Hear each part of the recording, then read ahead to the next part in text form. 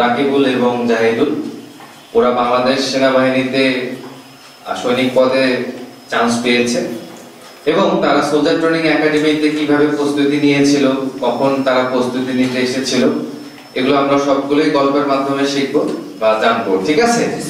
তো ওরা ওদের অভিজ্ঞতাগুলো তোমাদের সামনে শেয়ার করবে অভিজ্ঞতাগুলো খুব মনোযোগ সহকারে শুনবা কারণ এরা বরগুনা জেলা থেকে আসছে। দুই বন্ধু একসঙ্গে কোচিং করতে এসেছিল সোলজার ট্রেনিং একাডেমিতে।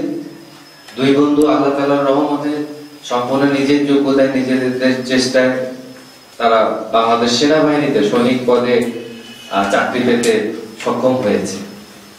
তো যারা চাকরি পেয়েছে, তাদের জন্য একটা করতালি দিয়ে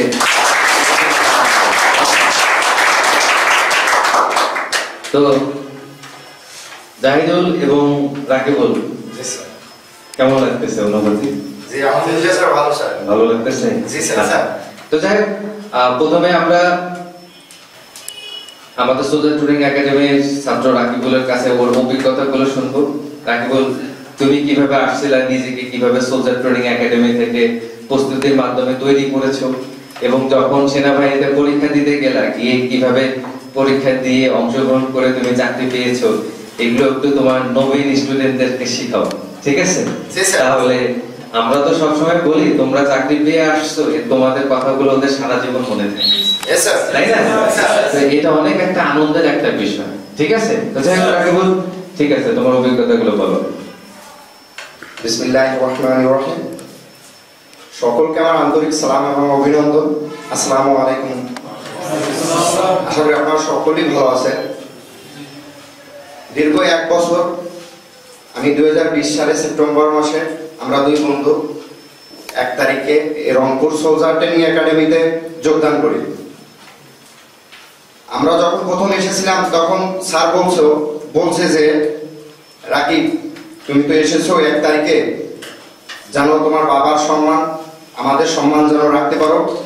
সেরকম প্রথম থেকে এখন প্রথম যেদিন আসো, সেদিন থেকে শেষ পর্যন্ত যেন আমাদের এই নাম এবং তোমার যেন এই গৌরবময় তুমি যেন আমাদেরকে হাসি মানে আমাদের এবং তোমার পিতা মাতার মুখে যেন হাসি ধরাতে পারো।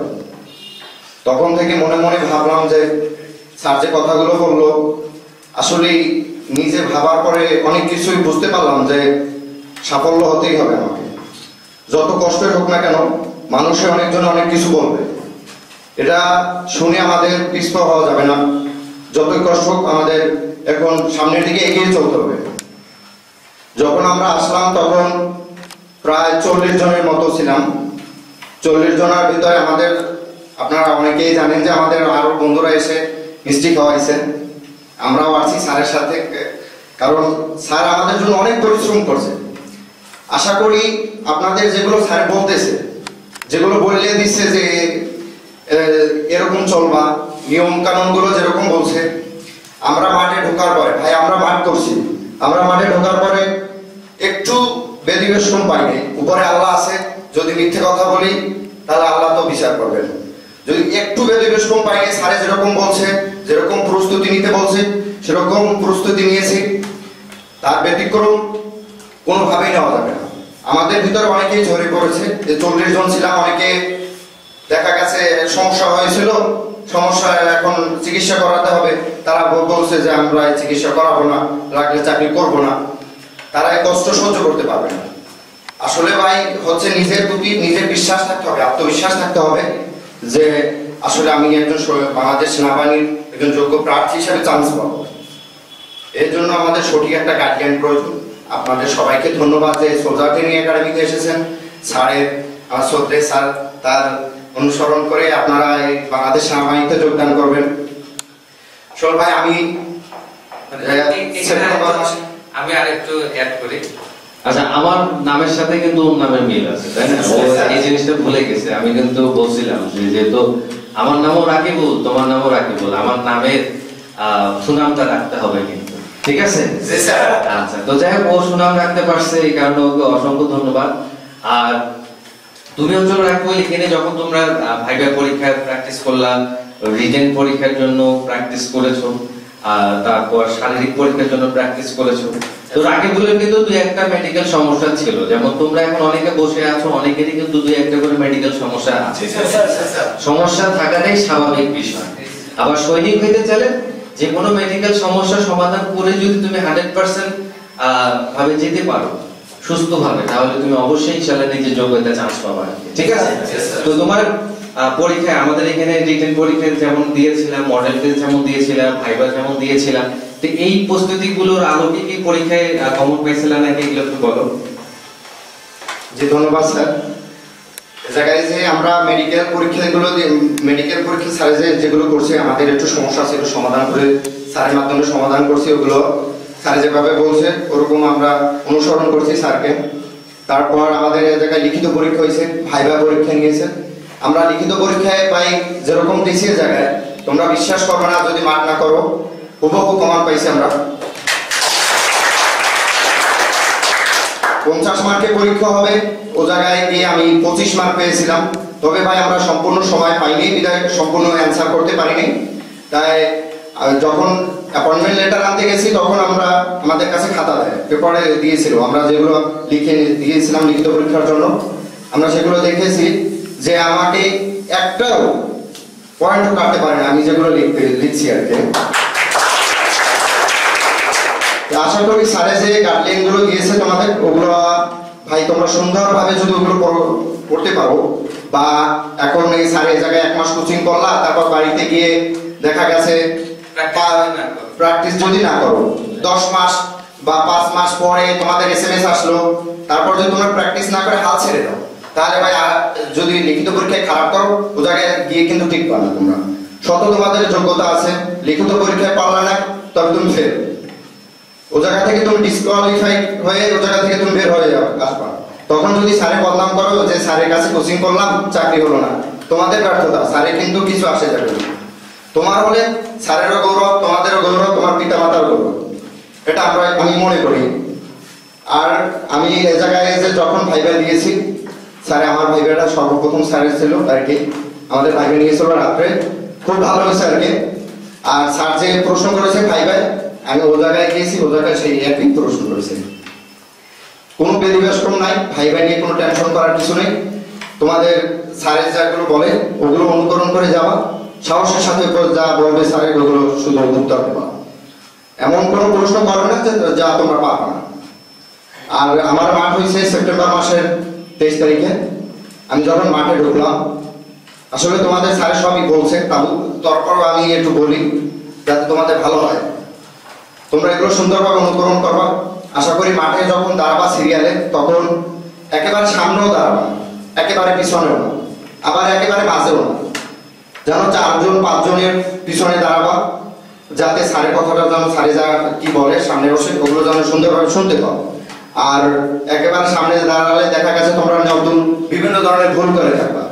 তাহলে ওই সামনে পাঁচজন থাকে, তারা ভুল করবে ইয়ে দেখে তোমরা শুধরে নেবা নিজেকে।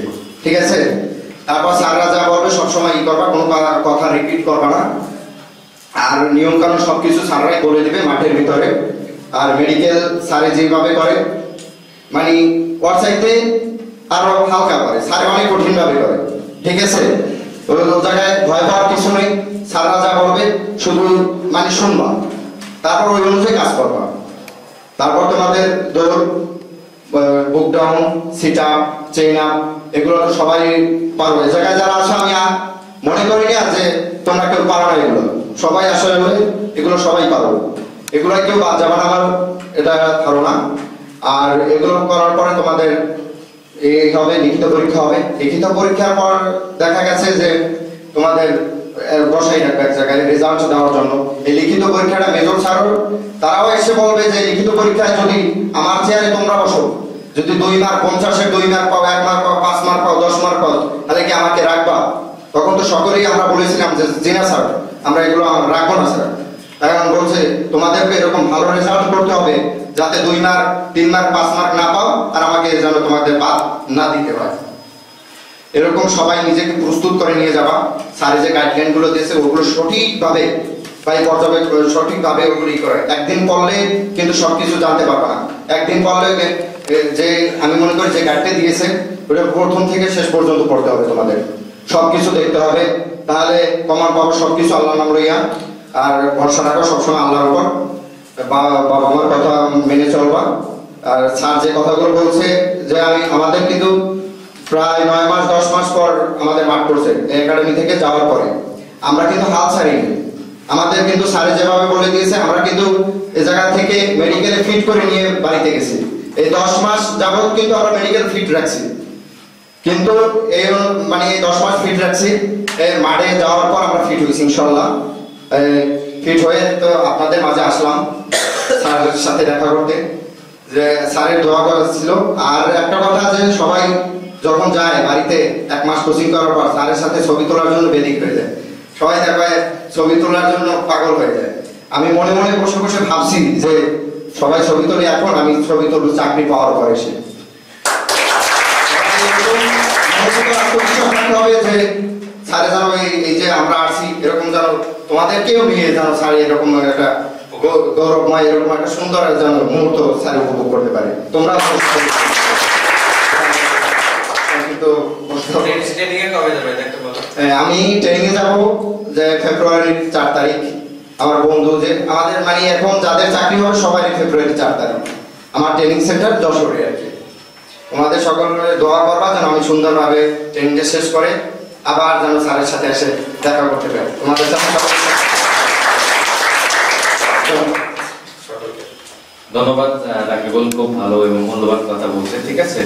ওর মনের কথাগুলো কিন্তু ওর তোমাদেরকে সুন্দরভাবে বুঝাই বলল। পরীক্ষায় কীভাবে যাওয়া উচিত কীভাবে কি করতে হবে না করতে হবে সবকিছুই কিন্তু বলেছে ঠিক আছে? সাফল্য পেতে চাইলে সঠিক গাইডলাইন এবং দিক নির্দেশনার প্রয়োজন। এবং সামরিক বাহিনীতে যারা সৎ যোগ্য প্রার্থী তাদেরকে সর্বপ্রথম অগ্রাধিকার দেওয়া হবে। ঠিক আছে? তো ওখানে অসৎ কোনো পথ অবলম্বন করা হয় না। সে কারণে তোমাদেরও এই ধরনের কোনো পথ অবলম্বন করা যাবে না। সবভাবে সঠিক গাইডলাইন মেনে চেষ্টা করো দেখবা যে ইনশাল্লাহ তোমরা সফল হতে পেরেছ। তো ওরা এক বছর আগে প্রিপারেশন নিয়ে এক বছর পরে এস এম এসএমএস আসছে পরীক্ষা দিতে গেছে। অনেক ছেলে পেলে দেখা যায় পরীক্ষা এখান থেকে সোজার একাডেমি থেকে প্রস্তুতি নিয়ে ওই পড়ালেখাগুলো সে ভুলে যায় আবার ঘুরে বেড়াচ্ছে আড্ডা দিচ্ছে পড়ছে না প্র্যাকটিস করছে না। তারা কিন্তু আসলে ভালো করতে পারবে না পারবে? তারা ভালো করতে পারবে ভালো তারাই করতে পারবে যারা প্র্যাকটিস করে যাবে। তারাই সাফল্য নিয়ে আসতে পারবে। তো যাই হোক ধন্যবাদ রাকিবুল অসংখ্য ধন্যবাদ। জাহিদুলের জন্য রাকিবুলের জন্য দোয়া করব ওরা সামনে ফেব্রুয়ারি মাসে ট্রেনিং এ চলে যাবে।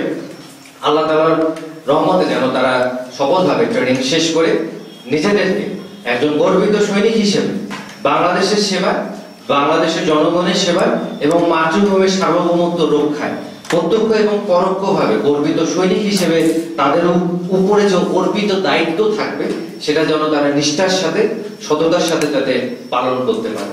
সবাইকে ধন্যবাদ। আসসালামু আলাইকুম। সেনাবাহিনী, নৌবাহিনী, বিমান বাহিনীর অফিসার এবং সৈনিক পদের চাকরির পরীক্ষার পূর্বে মেডিকেল, লিখিত, মৌখিক, শারীরিক এবং আইএসএসবি পরীক্ষার প্রস্তুতিমূলক কোচিং করতে আজই যোগাযোগ করুন বাংলাদেশের বিশ্বস্ত ডিফেন্স কোচিং প্রতিষ্ঠান সোলজার ট্রেনিং একাডেমিতে। সোলজার ট্রেনিং একাডেমিতে সমসাময়িক প্রস্তুতিমূলক ব্যাচে ভর্তি চলছে।